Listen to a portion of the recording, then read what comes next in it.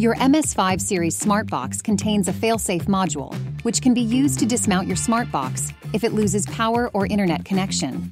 First, locate the rubber plug on the top right front of your SmartBox. Gently remove it using your fingers or a pair of pliers. On newer SmartBoxes, there is a ribbon attached to the rubber plug.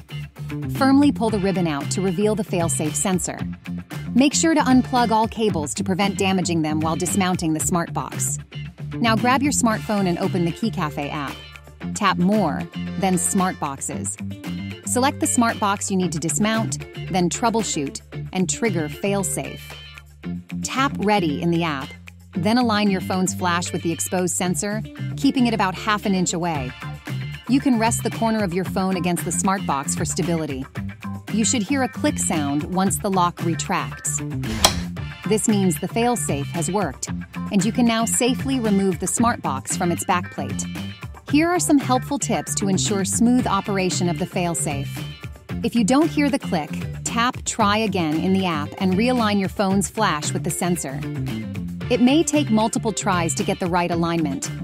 Once you hear the click, you have roughly two seconds to lift the smart box up out of the backplate before the lock re-engages. If you are using an iPhone and the lock will not retract, try using an Android as they transmit the flash code more accurately. And there you have it. You've successfully used the failsafe feature on your MS5 Smart Box. For more help with your Smart Box, visit our Help Center or contact our support team.